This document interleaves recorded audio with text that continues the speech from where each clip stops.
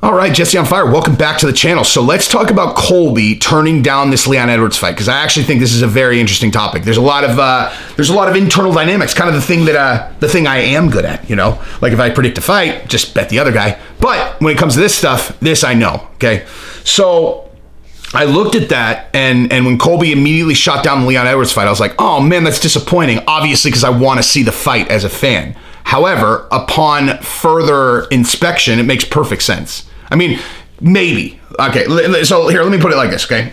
Before I do that, though, if you like the content, subscribe and ring the bell. We blew past 9,000, okay? I was 9,000 less than a week ago, I think, and uh, we're at 92, 92 something. I'm trying to get to 10,000 in the first year. So I started posting, I believe, around April 12th. Okay, so we've got six, seven weeks to get 800 subscribers. That's that's our normal pace. So we should get to 10,000 the first year. As I drove to do, I strived so that'll be a that'll be an important goal. That one will be a bigger deal than just like I throw up a nine thousand behind me. I go, hey, nine thousand, ten thousand, that'll matter because that was actually one of my goals. So thank you guys. And uh, if you can continue to, you know, like, share, and comment, I will appreciate that immensely. And also, uh, like I just said in this other video, if you talk, if you if you speak negative to me for whatever reason, YouTube has recognized that those are the ones I'm most likely to click on. So they always tell me. It's like if they're like, oh, look at this idiot. It's like, hey Jesse, hey, look at what this guy said. This guy said you're an idiot. It's bizarre. Don't really do it though, okay? Like, I mean, you could do it. It helps the algorithm, but like, I don't need to get bombarded with negative comments. I'm uh, a spaz. Anyway, but um, so yeah, so let's talk about this Colby thing because Colby uh, like immediately shot down the Leon Edwards fight, which is funny.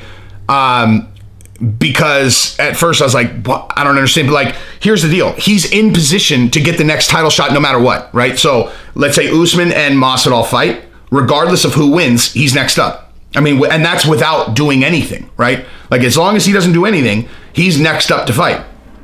So you consider the financial upside. Like you got to understand how these how how all of this works. If you're the champion, it, it's just not even comparable. Now maybe they could pay him enough to take the Leon Edwards fight in a main event, pay him back end like they did for Masvidal and Diaz or whatever. Then they can make it worth his while. But unless they do that, it doesn't make any sense. He's going to make 400k, something like that. Like. uh you know, maybe I don't know, with bonuses five, six hundred k versus just sitting there and waiting. And then if Masvidal wins the title, he's going to fight Masvidal for the title. If Usman wins the title or retains the title, he'll fight Usman for the title.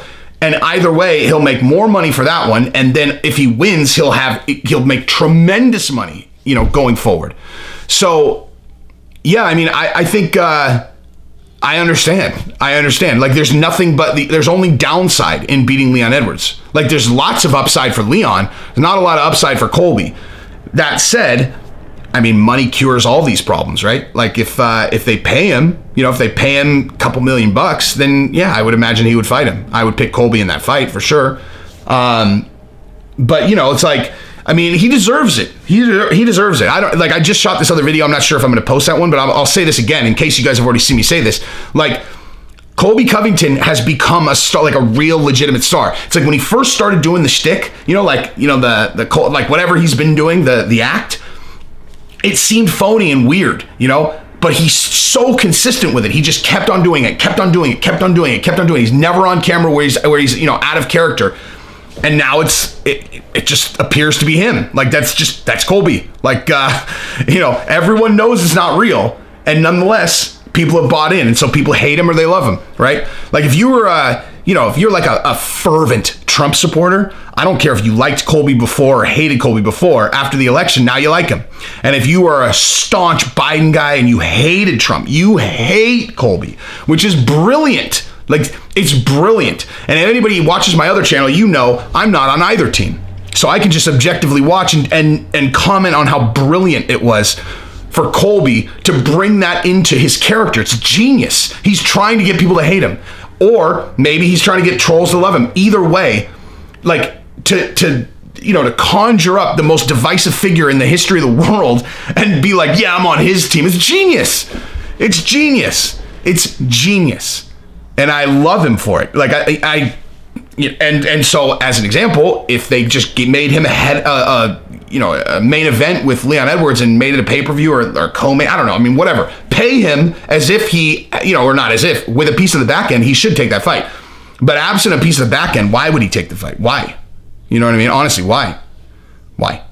I will say this: making him a TUF coach would be amazing. But I think they're you know they're going to do Masvidal and Usman. It sounds like, but he would be an incredible TUF coach. Tough, like because that's the thing. The, the thing that uh, like I said in the other video about about being able to kind of sit in the muck like with a person you don't like. Dude, Colby intentionally makes everyone hate him. Like he's obviously comfortable with that. And that, I mean, that is crazy to be able to do that. Although every time I think about it, I, I, will acknowledge it. It actually, it's incredibly freeing also. If everyone hates you, you have no pressure on you at all. Everyone wants you to lose. So if you lose, you're just giving people what they want. Versus like you have the weight of the world on you, like Aldo versus Conor, etc. You know. Uh, but yeah, you go in with nothing to lose, like Dustin versus Conor, and look at what happens. You know what I mean? But uh, anyway, that's all. That's all. I mean, I, I understand why Colby's not taking the fight, or, or, at least initially saying he doesn't want the fight, um, because he's in position to fight for the title. That's what everybody's after. I mean, I do think him and Masvidal are in this weird, sticky situation now, man. Because I do believe behind the scenes they're buddies, and I think that they're basically both vying for the same stuff. They both want to fight Kamaru. They don't really want to. They don't want to fight each other and destroy each other's careers. It's just like it's a it's a weird spot. I think their best their best way forward is Kamaru Usman versus Masvidal. They do TUF. They fight for the title just because it sounds like that's the direction they want to go. And then you go Colby versus uh, Leon, and you pay him well. I think he'll win that fight. And then you have Colby fight the winner of the uh, Masvidal and Usman. So Anyway, that's what I got. Subscribe to the channel and ring the mother freaking bell, son. I'm not going to swear anymore on this channel because I realize there are different tiers of this ad revenue stuff. And if you're, uh, I was always wondering why people didn't swear. You know, like like you know Ben Shapiro and and like the Young Turks and you know and Tim Pool and like all that. Like none of them swear. They obviously all swear. Like I see them swear on. Um, you know, on, on social media and stuff, but they never swear on YouTube, and I never understood why. And then I just learned that like there are like tiers of ads and it's like, if you want to be in the highest tier, you can't swear. I'm like, oh, all right, well, I guess I, I nuked my chances with that every video. But anyway, uh, that's what I got. Subscribe to the channel, ring the bell.